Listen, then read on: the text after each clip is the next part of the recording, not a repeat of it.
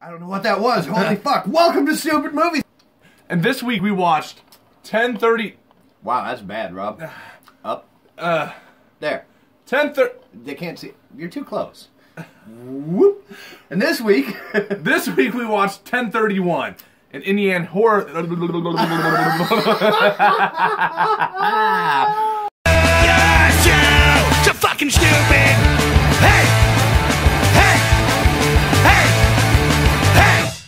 Welcome to Stoopid Movies, episode 133. where we watch them so you don't have to. And this week we're watching 1031, an indie anthology. Voila! Voila! Welcome to the third week of Stoopid Movies Halloween extravaganza. Oh, are we not going with Horror Fest anymore? Now we're in extravaganza. We're in the extravaganza. Oh! Third week. Third week. Third week.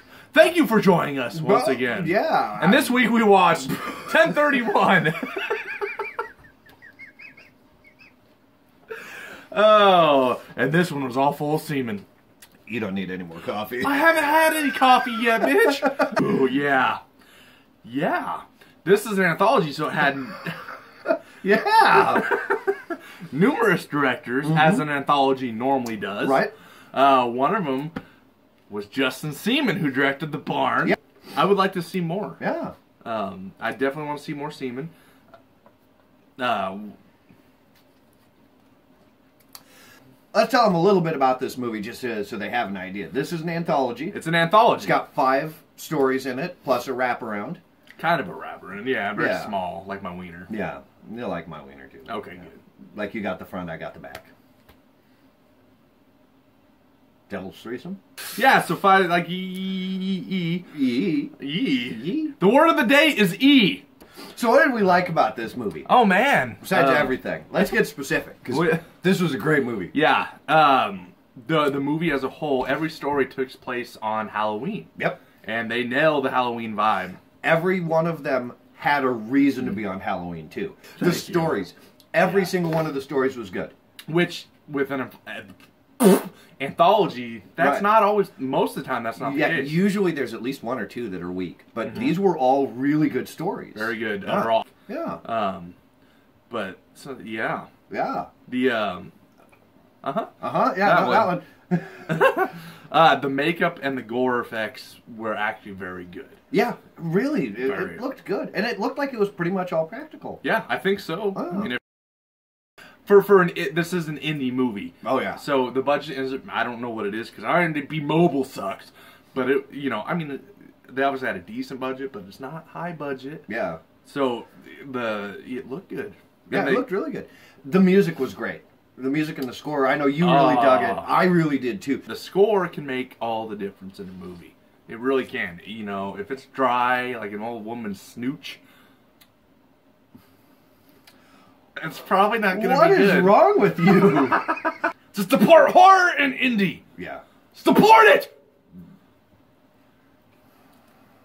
no more coffee for you, Rob.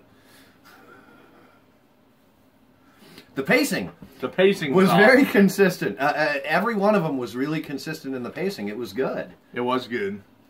Can I have my coffee back? Can have your Thank coffee you. yeah, um, the pacing was awesome. Uh, real quick, back to the gore. I got sidetracked. Yeah, you did. somehow. Because you started screaming. But we get all we get all sorts of uh, different kind of stuff.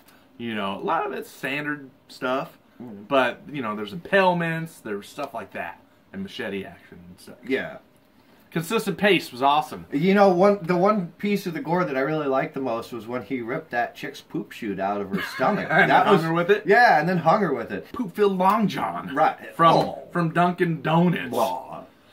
Um, Surprisingly, one of the less uh, less popular of their flavors. yeah, The pacing the pacing was uh, more consistent than the show. The stories I thought they were really widely varied. Yeah. What they were about. I mean, there was Right. a, without giving too much away. There was a slasher. There was a, a ghost. There was a vampire. Scarecrow. Yeah. Supernatural. It was yeah. It was really across the board, but I like that. It, it was great.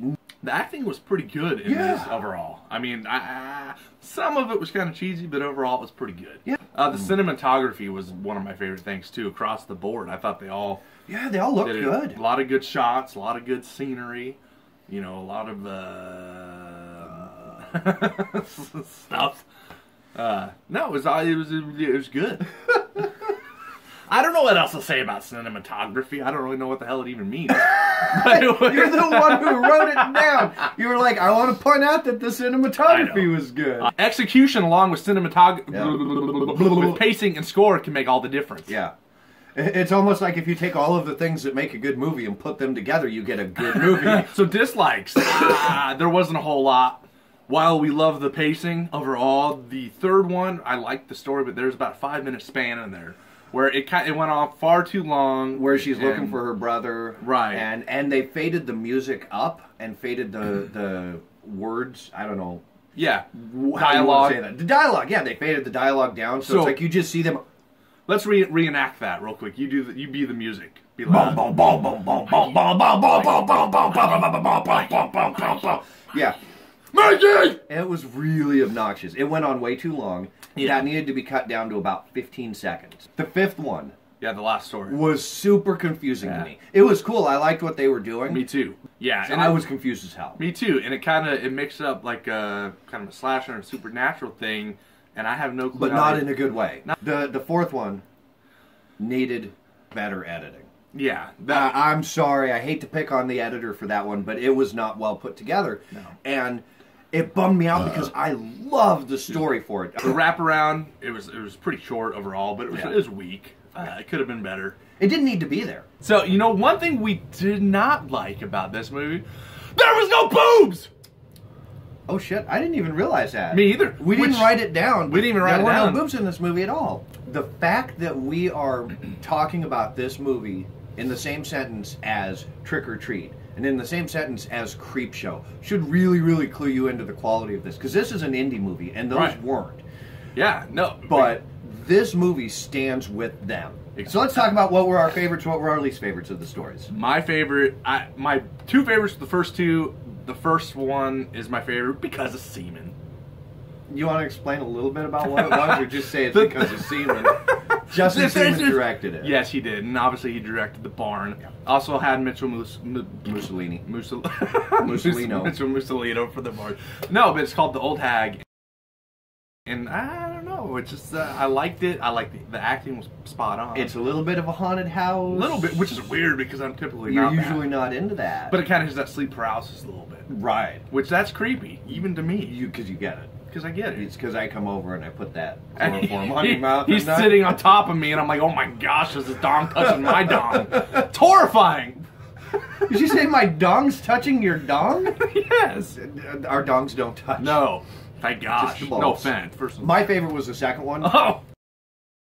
Um, I really, really. The first good. one was great. Uh, I don't want to make it sound like I didn't like it, but boy, that second one was so good to me. Yeah. Uh, it was a mix of, uh, you know, I thought it was.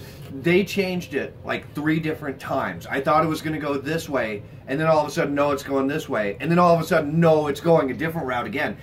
And each time got me, Yeah. and each one was good. So, Rob, what did you rate this movie? I'm gonna give this an eight out of eight Eight out because of eight? I enjoyed it. Yeah, you know what? I'm gonna give it an eight out of eight too. Oh! This is great. Go watch it. Go watch it. Straight up, it out. go get it uh, right now. Yeah. As soon as the credits roll, go watch this movie.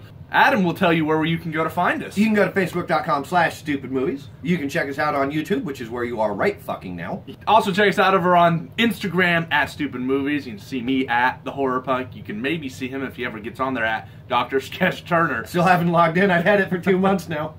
Uh, go check out our friend at the Horror Ghoul. Just a plug. Yeah, sure. She's cool. She likes horror movies. Yeah. So We're just gonna start randomly plugging people. just start plugging it. people. Plug people with the semen. No. Cut. Cut. End of show. End of show. See you next week for our final installment of the Halloween extravaganza for stupid movies. I wonder what movie we're gonna watch for the final for Halloween. I wonder what Halloween type movie we're going to watch next. I wonder what Halloween kind of movie. I wonder if it's going to be a new movie.